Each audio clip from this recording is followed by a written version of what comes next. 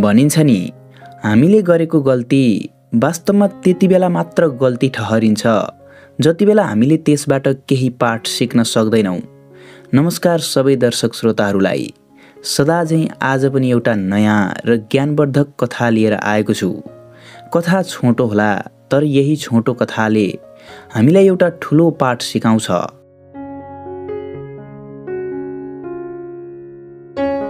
एक समयको कुरा हो एकजना एकदमै धनी व्यापारी थियो। त्यो व्यापारीको एकजना छोरा र एकजना छोरी थिए। ती व्यापारीका छोराछोरीहरू एकदमै लगनशील र सहनशील थिए। व्यापारी पनि आफ्ना छोराछोरीहरूको यस्तो बानी देखेर एकदमै खुसी थियो। एक दिनको कुरा हो त्यही व्यापारीको गाउँ वरिपरि भगवान् बुद्ध आएको खबर फैलियो। त्यसपछि सबै मानिसहरू बुद्ध भएकोमा जान थाले। मानिसहरू बुद्ध भएकोमा जान्थे र उनीहरूले ज्ञानका कुराहरू सिकेर आउँथे। यो कुरा त्यो व्यापारीको छोराछोरीले पनि थाहा पाए। त्यसपछि उनीहरू गौतम बुद्धकोमा गए। उनीहरूले गौतम बुद्धको प्रवचनहरू सुने। त्यसपछि उनीहरूलाई गौतम बुद्धको प्रवचनले एकदमै राम्रो प्रभाव पार्न थाल्यो।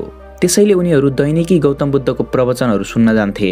छोराछोरी दिनदिनै गौतम बुद्धकोमा प्रवचन सुन्न जाने कुरा त्यो व्यापारीले पनि एक दिन थाहा पायो। यो थाहा पाउने बित्तिकै त्यो व्यापारीलाई रिस उठ्यो। त्यसपछि एक दिन त्यो व्यापारी गौतम बुद्ध भएको ठाउँमा गएर निरीक्षण गर्यो। त्यो दिन त्यो व्यापारी त्यसै घर फर्क्यो भने अर्को दिन उसले मनमनै सोच्यो मेरा छोराछोरीहरू त्यो एउटा आँखा चिम्म गरेर बस्ने एउटा कामै नगर्ने मानिसको अगाडि गएर दिनमा दुई तिन घन्टा बिताउँछन्। के गरेका हुन् यिनीहरूले? त्यो मानिस चाहिँ कहाँको को रहेछ? त्यसै आँखा चिम्म गर्छ बस्छ मानिसको समय बर्बाद गरिदिन्छ। मेरा छोराछोरीले त्यसको अगाडि जानुभन्दा त यही व्यापारको बारेमा केही कुरा सिके भने पछि भविष्य उज्जवल बनाउन सक्थे। के गरेका हुन् यिनीहरूले? अनि त्यो मान्छे चाहिँ को रहेछ? मानिसको समय बर्बाद गरिदिने। मानिसहरू पनि त्यसै त्यसको अगाडि जाने। एक दिन त्यो व्यापारी यस्तै कुराहरू मनमा सोच्दै गौतम बुद्धको अगाडि गएर उनलाई पाठ सिकाउने विचार गर्यो। त्यही भएर त्यो व्यापारी आफ्नो घरबाट गौतम बुद्ध भएको ठाउँमा हिँड्यो। बाटोमा हिँड्दै गर्दा पनि ऊ ज्यादै रिसाएको थियो। गौतम बुद्धको यस्तो करतुत देखेर। उसलाई पटक्कै मन परेको थिएन गौतम बुद्धको यस्तो काम। भलै गौतम बुद्धले मानिसहरूलाई आफूले बोलाएका थिएनन्। मानिसहरू आफै उनीदेखि आकर्षित भएर त्यहाँ गएका थिए र उनीहरूले राम्रो कुराहरू सिकेका पनि थिए। तर त्यो व्यापारी भने एकदमै रिसाउँदै भगवान् बुद्ध भएको ठाउँमा गयो। त्यसपछि गएर बुद्धलाई भन्यो तपाईँ को हो? तपाईँ के हो? के गरेको यस्तो? रुखमुनि बसिया छ आँखा चिम्म गरेका छ। मानिसको समय बर्बाद गरिदिएको छ। नाना भाँती कुराहरू सिकाएको छ। के गरेको यस्तो? मानिसहरूलाई जम्मा गरेर के गरेको यस्तो लाज लाग्दैन? त्यो मानिसले बुद्धलाई एकदमै नराम्रा शब्दहरू प्रयोग गरेर गाली गर्यो। तर तर बुद्ध भने एकदमै मौन थिए। उनी एकदमै शान्त थिए। उसले यस्तो भन्दा पनि बुद्धले केही पनि प्रतिक्रिया नदिएपछि त त्यो मानिस झन रिसले चुर भयो। त्यसपछि उसले नाना भाँती भन्यो। नराम्रा नराम्रा शब्दहरूले थर्कायो बुद्धलाई। तर तर बुद्ध भने शान्त थिए। त्यो मानिसको रिस यति धेरै बढ्यो कि त्यसपछि उसले अरू बोल्ने शब्द नै भेटेन। उसले एकाएक यताउति कतै पनि नहेरिकन रिसले चुर हुँदै अनुहार रातो बनाएर उसले बुद्धको अनुहारमा थुकिदियो। बुद्धको अनुहारमा उसले थुकिदिएपछि त्यहाँ भएका अरू शिष्यहरूले अचम्म मान्दै हेरे। शिष्यहरू अलि रिसाएका पनि थिए आक्रोशित थिए। तर तर बुद्ध भने शान्त थिए। त्यो मानिसले अनुहारमा थुकिसकेपछि बुद्ध त मुसुक्क मुस्कुराए। बुद्ध मुस्कुराएको देखेपछि वरिपरिका सबै शिष्यहरू छक्क परे त्यो व्यापारी त झन् ऊ केही बोल्न सकिराखेको थिएन। उसले बुद्धबाट यस्तो प्रतिक्रियाको अपेक्षा गरेको थिएन। तर बुद्ध बुद्ध मुसुक्क हाँसे केही बोलेनन् उनी शान्त थिए। वरिपरिका मानिसहरूलाई त त्यो मानिसलाई कुटिदिउँ जस्तो लागेको थियो। तर बुद्ध त्यहीँ हुँदाहुँदै उनीहरूले यस्तो कदम चाल्न सकिराखेका थिएनन्। त्यो मानिस बुद्धको अनुहारमा थुकेपछि अरू त के गर्ने? अपमान गर्नु जति गरिसकियो भनेर अझै रिसाउँदै त्यो मानिस त्यहाँबाट फन्केर हिँड्यो। बाटोमा हिँडेर घर जाँदै गर्दा त्यो मानिस अझै रिसाएको थियो। त्यसपछि ऊ घर पुग्यो। घर पुगेको केही समयपछि उसको रिस शान्त भयो। त्यसपछि उसले मनमा नै सोच्यो कस्तो मानिस रहेछ? अहिलेसम्म कसैलाई मुखमा थुक्दाखेरि केही पनि नगरेर मुसुक्क हाँसेको मानिस मैले अहिलेसम्म देखेको थिइनँ। तर त्यो मानिस कस्तो रहेछ त्यो मानिस? उसलाई अलिअलि पछुतो पनि लाग्यो आत्मग्लानी भयो। त्यस्तरी सबै मानिसको अगाडि थुकेको थियो तर अरू केही प्रतिक्रिया दिनको सट्टा बुद्ध मुसुक्क हाँसेका थिए। त्यो मानिसको मनस्पटलभरि त्यही बुद्ध मुसुक्क हाँसेको तस्बिर खेलिरह्यो। त्यो मानिस बेलुकी पख खाना खाएर ओछ्यानमा गयो तर त्यो मानिसको मनमा त्यही बुद्ध मुसुक्क हाँसेको तस्बिर झलझलिरहिरह्यो। त्यो मानिस त्यो मानिसलाई पछुतो भयो आत्मग्लानी भएको अनुभव भयो। उसको अहङ्कारले गर्दा उसले केही सोच्न सकेको थिएन तर ऊ त्यो रात कहाँ निदाउन सक्यो र उसको मनभरि त्यही बुद्ध मुसुक्क हाँसेको तस्बिर खेलिरह्यो। रात एकदमै छिप्पिसकेको थियो अँध्यारो रात शान्त वातावरण। त्यो मानिसलाई बुद्धको अनुहार झलझली याद आयो त्यस्तो अपमान गर्दा पनि। उनले केही गरेनन्। त्यो मानिसलाई बुद्धप्रति दया लागेर आयो। त्यो मानिसको मन एकदमै लज्जित भयो। त्यसपछि उसले यो कुरा सहन सकेन। उसलाई एकदमै पश्चातापको अनुभव भयो र भोलि बिहान भयो। बिहान हुने बित्तिकै त्यो मानिस बुद्धको अगाडि गयो र बुद्धलाई प्रणाम गरेर बुद्धको चरणमा पर्यो। बुद्धको चरणमा पर्दै त्यो मानिसले बुद्धलाई भन्यो गुरु मबाट ठुलो गल्ती भयो। मलाई माफ गरिदिनु गुरु मबाट धेरै ठुलो गल्ती भएको छ त्यसपछि बुद्धले त्यो मानिसलाई हेरे बुद्ध मुसु मुसु हाँसे। बुद्धले त्यस मानिसलाई भने के को माफ? मैले तिमीलाई माफ गर्दिनँ। बुद्धले यस्तो भन्ने बित्तिकै वरिपरि भएका सबै मानिसहरू आश्चर्यचकित भए। सधैँ माफ गरिदिने। जो सुकैलाई जस्तो गल्ती गरे पनि माफ गरिदिने बुद्धले आज यो मानिसलाई माफ नगर्ने भनेका छन्। के भन्नुभएको गुरुले? त्यो मानिसले पनि अचम्मित मान्दै बुद्धलाई हेऱ्यो। लौ बुद्धले मलाई माफ गर्ने भएनन्। बुद्ध एकछिन मुसु मुसु हाँसिरहे। उनी शान्त स्वभावका थिए। शान्त थियो उनको अनुहार उनको सबै बोलीचाली। शान्तमय भावमा त्यो मानिसलाई भनेका थिए एकैछिनपछिको मौनतापछि त्यो मानिसले बुद्धलाई भन्यो गुरु मलाई माफ गर्नुहुन्न। म त्यही हिजोको मानिस जसले हजुरको अनुहारमा थुकेर गएको थियो। हिजो म एकदमै उत्तेजित थिएँ गुरु। मलाई एकदमै पछुतो भयो। म रातभरि निदाउनै सकिनँ। हजुरले मलाई माफ गर्नुहोस् गुरु। त्यो मानिसको यस्तो कुरा सुनेर बुद्धले भने मैले तिमीलाई किन माफ गर्ने? मैले तिमीलाई माफ गर्दिनँ। मैले त माफ गर्नु परे पनि हिजोको त्यो मानिसलाई माफ गर्छु। तर मैले आजको तिमीलाई माफ गर्दिनँ। तिमीले कहाँ गल्ती गरेका छौ र? तिमीले गल्ती गरेको भए पो मैले तिमीलाई माफ दिने। तिमी जो अहिले मेरो अगाडि छौ तिमी एकदमै राम्रो मानिस हौ तिमी एकदमै असल मानिस हौ। त्यो असल मानिसले नै मेरो अगाडि आएर यस्तो असल कुराहरू गरिराखेको छ। हिजोको मानिस मैले त्यो मानिसलाई सम्झदिनँ। मैले त्यसलाई भुलिसकेँ। तर तिमी त्यो हिजोको मानिस पक्कै होइनौ। तिमी आज नयाँ मानिस भएर आएका छौ। मैले तिमीलाई माफ दिनुपर्ने आवश्यकता नै छैन किनकि तिमीले कुनै पनि गल्ती गरेकै छैनौ। बुद्धको यस्तो कुरा सुनेपछि त्यो मानिसले गहभरि आँसु बनायो। त्यसपछि बुद्धलाई फेरि प्रणाम गर्यो र उसले त्यही दिनबाट बुद्धको शिष्य बन्ने निर्णय गर्यो। हामी र हाम्रो जीवनमा पनि हामीले गल्तीहरू गर्छौँ तर के हामीले साँच्चै त्यो गल्तीहरूलाई हेरेर चिन्तित हुने हो त? होइन हामीले आज गल्ती गऱ्यौँ तर भोलि हामी अर्कै मानिस भएका हुन्छौँ। हामीले आजको गल्तीलाई भुलेर यदि त्यसबाट केही सिक्न सकिने कुराहरू छ भने त्यसलाई अँगालेर हामीले अब आउने दिनहरूमा त्यो गल्तीलाई नदोहोऱ्याउने सङ्कल्प लिएर काम गर्नुपर्छ। हिजोको हामी र आजको हामीमा धेरै अन्तर छ।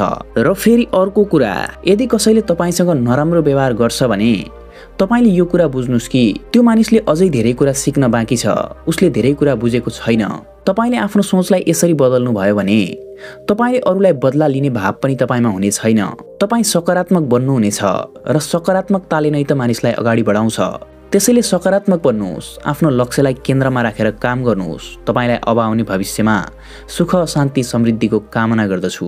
अब आजको दोस्रो र एकदमै महत्त्वपूर्ण कथा भनिन्छ नि संसारका सबैभन्दा ठुला युद्धहरू बाहिरी दुनियाँमा नभएर मानिसको दिमागमा खेलिएका छन्। एक समयको कुरा हो भगवान् गौतम बुद्ध एउटा जङ्गलमा थिए। त्यो जङ्गलमा भगवान् बुद्धले एउटा खोलामा स्नान गरेका थिए। त्यो खोलामा स्नान गरेपछि गौतम बुद्ध फेरि आफूले ध्यान गर्ने रुखमा आएर उनी ध्यान गर्न बसे। भगवान् बुद्ध ध्यानमा बसिसकेपछि परबाट एउटा ज्योतिष आयो। त्यो ज्योतिष एकदमै ठुलो ज्योतिष थियो। उसले भनेको जस्तो सुकै भविष्यवाणी पनि सत्य साबित भएको थियो। उसको भविष्यवाणीले कहिल्यै फेल खाएको थिएन। त्यो ज्योतिष ठ्याक्कै भगवान् बुद्धले स्नान गरेको ठाउँमा आयो र त्यहाँ आएर हेर्दा उसले भगवान् बुद्धको पाइला देख्यो। भगवान् बुद्ध चाहिँ अलि परको रुखमा ध्यान गरेर बसेका थिए भने त्यो मानिस त्यो खोलाको नजिक आएर बुद्धको पाइलाहरूलाई देख्यो। त्यो देख्ने बित्तिकै ज्योतिष एकदमै अचम्ममा पर्यो। त्यो पाइला भएको मानिस ज्योतिषशास्त्र अनुसार एउटा ठुलै सम्राटको पाइला थियो। त्यो देख्ने बित्तिकै त्यो ज्योतिष एकदमै अचम्ममा पर्यो। अरे एउटा ठुलो सम्राटको पाइला। यो पाइला भएको मानिस यस्तो जङ्गलमा कसरी आयो होला? कसरी आयो त्यो मानिस? ज्योतिष एकदमै अचम्ममा पर्यो एकैछिन त्यहीँ बस्यो। उसले मनमनै सोच्यो कतै युद्ध त चलिराखेको छैन। फेरि सोच्यो जङ्गलमा केही हो हल्ला छैन युद्ध पनि भएको छैन। कसको होला त यो पाइला? कसैले मलाई झुक्क्यायो कि? यो के हुँदैछ भनेर उसको मनमै द्वन्द्व चल्न थाल्यो। एकैछिनपछि उसले त्यो पाइलालाई पछ्याउँदै पछ्याउँदै गयो गयो ऊ भगवान् बुद्धको अगाडि। बुद्धको अगाडि गयो। उसले देख्छ एउटा साधारण मानिस ध्यान गरेर बसिराखेको छ तर उसको पाइला ज्योतिषशास्त्र अनुसार ठुलो सम्राटको थियो। यो देख्यो र अगाडि बुद्धलाई देख्यो। त्यो मानिस एकदमै दोधारमा पर्यो। त्यसपछि उसले बुद्धलाई सोध्यो गुरु तपाईँ त यहाँ हुनुहुन्छ। केही पाइलाहरू तपाईँकै हुन्। त्यसपछि बुद्धले ती पाइलाहरू उनकै भएको जनाए।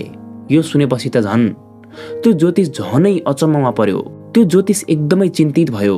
ऊ निराश भयो। त्यही पनि त्यो ज्योतिषले आफूलाई सम्हाल्दै गौतम बुद्धलाई सोध्यो गुरु तपाईँ त एउटा ठुलो सम्राट हुनुपर्ने मान्छे। तर तपाईँ त एउटा भिक्षु बनेर यहाँ जङ्गलमा तपस्या गरिराख्नु भएको छ। मैले बुझ्न सकिनँ नि। म एउटा ठुलो ज्योतिष हुँ। मेरो भविष्यवाणी अहिलेसम्म कहिल्यै पनि असफल भएको छैन। तर हजुरको अगाडि मेरो भविष्यवाणी असफल भयो। कसरी? यो कसरी भयो मैले बुझ्न सकेको छैन गुरु। के भयो यस्तो? त्यो ज्योतिषको यस्तो कुरा सुनेर गौतम बुद्धले मुसुक्क हाँस्दै भने नआत्य तिम्रो भविष्यवाणी असफल भएको छैन। फेरि त्यो ज्योतिष अचम्ममा पर्यो। के भन्नुभएको तपाईँले? कसरी मेरो भविष्यवाणी असफल भएको छैन? हजुर जस्तो भिक्षु र यो पाइला हेर्दा ठुलो सम्राटको कसरी भएन मेरो भविष्यवाणी असफल? त्यसपछि फेरि त्यो मानिसले भन्यो तपाईँ को हो र? तपाईँ ठुलै सम्राट हो र? होइन। तपाईँ त एउटा रुखमुनि बसेर ध्यान गर्ने भिक्षु हो। त्यो मानिसको यस्तो कुरा सुनेपछि गौतम बुद्धले त्यो मानिसलाई भने हो म कोही पनि होइन। म केही पनि होइन। म कोहीको पनि मालिक होइन। म केहीको पनि मालिक होइन। मसँग केही पनि छैन। तर म विश्वको सम्राट हुँ। यो कुरा तिमीले मान्नै पर्छ। बुद्धले झनभन्दा झन् यस्तै कुरा गरेपछि त त्यो मानिस हैरान भयो। ऊ यसै त दोधारमा थियो। यसै त चिन्तित थियो आफ्नो भविष्यवाणी असफल भयो भनेर। त्यसैमाथि बुद्धको यस्तो कुरा सुन्दा उसलाई त के भयो के भयो? ऊ बोल्नै सकेन। त्यसपछि फेरि बुद्धले भन्दै गए तिम्रो विचारमा तिमीले विश्वको सबैभन्दा ठुलो सम्राट त्यसलाई सोध्छौ जसले सबै राज्यहरूलाई जित्न सफल भएको छ जसको ठुलो राज्य छ उसैको शासन चल्छ उसैका प्रजाहरू छन्। तिमीले त्यसलाई विश्वको ठुलो सम्राट मान्छौ होला। तर जसले आफ्नो मनलाई आफ्नो मनका विकृतिहरूलाई लोभ लालच मोह माया सबै चिजमाथि विजय प्राप्त गरेको छ के त्यो मानिस सम्राट होइन? तिमी ढुक्क भौ तिम्रो भविष्यवाणी कदापि गलत साबित भएको छैन। तिमीले एकदमै सही भविष्यवाणी गरेका छौ। त्यो सम्राट त्यो सम्राट म नै हुँ। तिमीले यो कुरा बुझ जसले आफ्नो भित्रका दुश्मनहरूलाई जितेको छ। त्यो मानिस कहिले पनि सानो सम्राट हुन सक्दैन। बुद्धले भन्दै गए बाहिरी दुनियाँमा अरू राज्यहरूमाथि विजय प्राप्त गर्ने सम्राट त समयअनुसार आइ नै रहन्छन्। र उसले प्राप्त गरेको राज्यहरू ऊ मरेपछि सबै छाडेर जानु नै पर्छ। तर जसले आफ्नो मनको दुश्मनहरूमाथि विजय प्राप्त गरेको छ र आफ्नो मनलाई शुद्ध बनाएको छ त्यो मानिसले यही जीवनमा दिव्य सुख दिव्य शान्ति र अनित्य सुख प्राप्त गर्न सक्छ। बुद्धको यो सबै कुरा सुनेपछि त्यो मानिसको आँखा रसाए ज्योतिष आँखा आँसुले टिलपिल टिलपिल गर्दै थियो। उसले फेरि सम्हालिँदै गौतम बुद्धलाई प्रणाम गर्यो र त्यसपछि त्यो ज्योतिषले गौतम बुद्धको शिष्य बन्ने निर्णय गर्यो र अन्त्यमा त्यो ज्योतिष गौतम बुद्धको शिष्य बन्न पुग्यो। हामी र हाम्रो जीवनमा पनि हामीले आफ्नो मनमाथि विजय प्राप्त गर्नु सबैभन्दा ठुलो कुरा हो। बाहिरी दुनियाँमा त हामीले सफलता पाउन सकिएला। तर यदि हामी भित्रदेखि नै खुसी छैनौँ भने हामीलाई बाहिरको जस्तो सुकै चिजले पनि खुसी बनाउन सक्दैन। यदि बाहिरी चिजहरूले पनि हामीलाई खुसी बनाउन छ भने पहिला हाम्रो भित्रका चिजहरूसँग स्वीकृति लिन्छ। त्यसपछि मात्रै बाहिरी चिजहरूले हामीलाई खुसी बनाउन सक्छन्। त्यसैले पहिला आफू भित्रका दोषहरूलाई मेटाउन सिक्नुहोस्। आफू भित्रका दुश्मनहरूलाई पराजित गर्नुहोस्। त्यसपछि मात्रै तपाईँको जीवनमा शान्ति आउन थाल्नेछ। तपाईँलाई अब आउने भविष्यमा सुख शान्ति तथा समृद्धिको कामना गर्दछु।